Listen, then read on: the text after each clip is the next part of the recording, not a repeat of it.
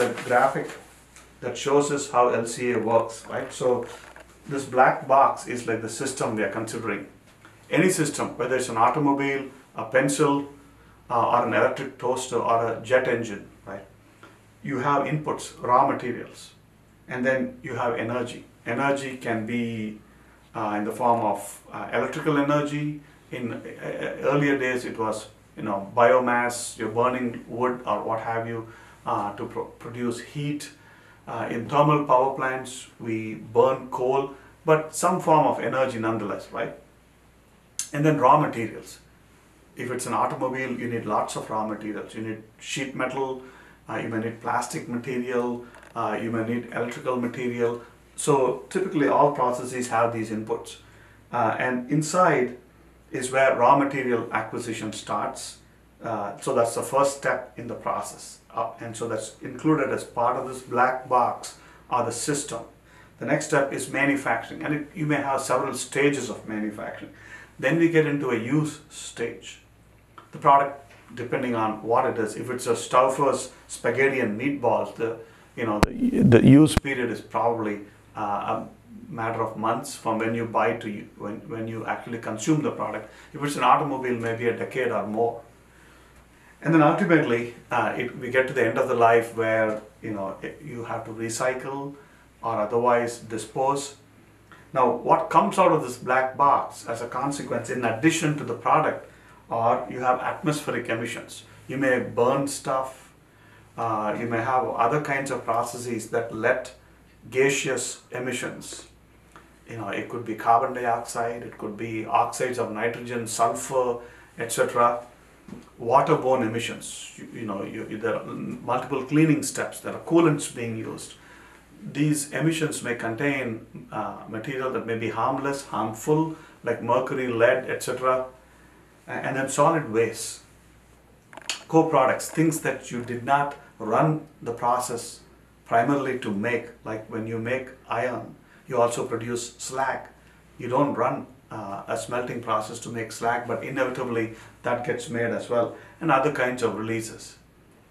So this is the basic uh, uh, you know picture we have, and it starts with raw materials and goes down to recycling. So in more detail, um, life cycle assessment is basically a technique uh, to uh, assess environmental aspects and potential impacts uh, associated with a product, process, or service. That's what we do, right? As engineers and managers, we are the we provide society with products or processes, processes or services, and uh, each of these has certain environmental consequences, and life cycle analysis helps us to assess them. So the first step is uh, to conduct an inventory. What kind of materials are needed to manufacture a pencil? how much energy is required for all of the steps involved in the process. So inputs are typically material and energy. And then you have environmental releases. We talked about solid waste, liquid residue, gaseous residue. So that's your inventory step. It can be a pretty painstaking uh, analysis to come up with a detailed inventory. The next step is once you know what materials and how much energy you're trying to find out or estimate or evaluate the potential environmental impact. Right? So, you know, if you're using energy, you're used electrical energy. Well, how is electrical energy produced? Well, it's produced by burning coal, as an example. When you burn coal, there are environmental consequences. You're releasing carbon dioxide, but just not just that, right? Coal is mined. It's either an open pit mine or a deep shaft mine, you are rearranging Earth's face when you engage in mining. So the ecology is disrupted. So there are lots of environmental impact. So that's what happens the next step. It's an impact analysis step for each of the inventory items, each input, each release. We try to ask ourselves what are the environmental impacts. The last step is interpreting uh, what you have found out in the inventory and impact analysis steps and then providing that in a form that is presentable to a decision maker so they can make better or more informed decisions. Now, life cycle analysis is important because it analyzes all stages of a product's cycle. You see, uh, environmental concern is not, not very new. We've had various levels of environmental concern over the last 30, 40 years. But in the past, these concerns were addressed within the walls of a factory, right? When you make, make a car, right? I mean, you are rolling, uh, you know, you are basically forming sheet metal to form the body panel. Uh, and so we ask ourselves, what are the environmental impacts of doing that? But wait a second, where do these sheets of metal come from? They come from a steel plant, right? And the steel plant basically gets iron from an iron plant, and the iron plant uh, processes iron ore that comes from a mining process. So there's a you have to include all stages, and that's what life cycle analysis does. And once you make the car, we we used to stop the analysis right there within the walls of the factory. But these cars have to be transported to various dealerships and then they are used. So the transportation involves environmental impact. You have trucks, you have trains that is hauling this stuff, and so there is energy consumed. And then people use cars for whatever, five years, 10 years, 15, 50 years. What are the environmental impacts involved? So it includes all stages and uh, with the assumption that these stages are interdependent, meaning that one operation leads to the next.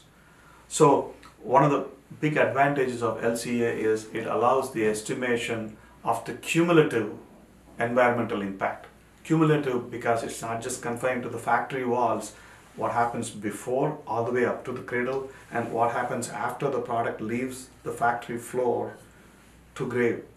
So it's a cumulative environmental impact. It often includes things that are overlooked in a traditional analysis like material extraction, transportation, and ultimate disposal. What is the benefit to a decision maker? Well, by including all stages, uh, we are uh, able to better assess uh, comprehensively uh, all of the environmental impact involved with the use of a product or process. So the decision makers can effect uh, true trade-offs when it comes to product and process selection. So true trade-off versus pseudo uh, true trade-off where it, it's simplistic. For example, one can say, well, it's better to use electricity from nuclear plants than a coal-fired plant. Well, yes and no, because in a nuclear plant, there is no smoke, uh, there is no carbon dioxide release. So good, right? Yes. But ask yourself what happens to the nu- nuclear fuel? Uh, it still remains radioactive. We go to extraordinary lengths to bury them deep under the earth or in the ocean and have huge concrete structures built over them. Well, that's got to be taken into account too. If you don't, then it's not a true trade off. It's simplistic to say nuclear energy is clean, coal is not. I'm not arguing for coal or for nuclear energy. I'm from neither lobby. I'm just suggesting that you need to start from cradle and go all the way up to the grave to compare apples to apples. Similarly, you know, uh, people would say um, electric cars are good for the environment. Yes, they are. Uh, you know, if you just consider the car alone. But guess what? Electric cars use electricity. Where does that electricity come from? Well, that comes from a nuclear plant or it comes from a coal-fired plant. Well, then, you know, you, you got to, you, you can compare a traditional uh, gasoline-based Chevrolet versus Chevy Volt and say Chevy Volt is better. Because that is simplistic. You have to ask yourself, where does the energy come from? And that's where the cradle part comes in. It comes from a coal-fired or nuclear power plant, and those have uh, consequences. So true trade-off.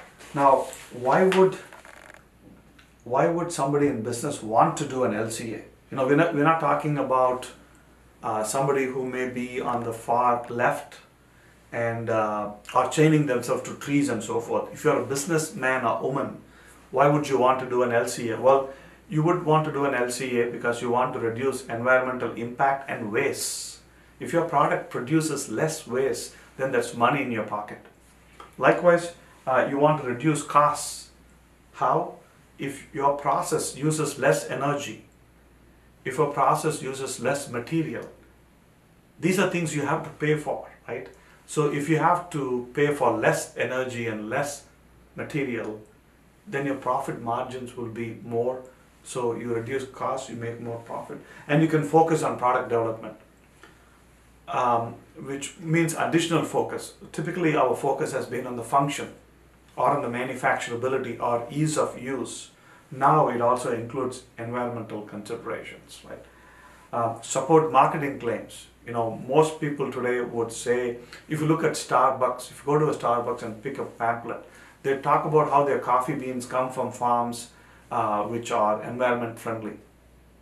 If you look, if you buy Horizon milk, right, they will talk about how that milk is made where, uh, you know, range, I don't know what the word is, cows that you know eat natural grass and are not fed hormones and so forth. Um, you, you look at ads for Tyson or whomever, you know, chicken, you know, these are range-free, uh, uh, you know, chicken or eggs and so forth. Why are they saying that? Well, because they are concerned uh, about the environment that, that is in selling you the product, they're trying to tell you they're not hurting the environment. So uh, you just can't have a claim. Uh, you have to be able to back it up. And LCA can help you back up your claim. And it helps improve corporate image. So these are some reasons uh, why you want to implement a life cycle analysis. Now, life cycle analysis is a pretty lengthy process. It can be broken down into four key stages or uh, steps or phases. The first step, as it, with most uh, projects, is to define your goal and the scope. Right? If you have a very poorly defined goal, you can solve a problem that you're not able to define.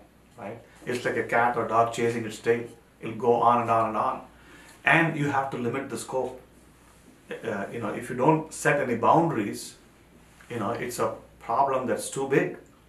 The next step is to do an inventory analysis. We talked about, you know, doing a painstaking inventory of all input and output. The next step is to do an impact analysis for the identified inputs and outputs. What are the environmental impacts or potential environmental impacts. And the last step is to interpret. Okay, I've done uh, my inventory analysis, I've done my impact analysis. What does this tell me in relation to the goal I established earlier?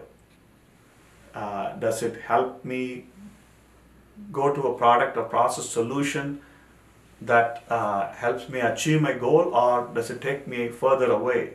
So that's that stage where we interpret and help decision makers use this stuff.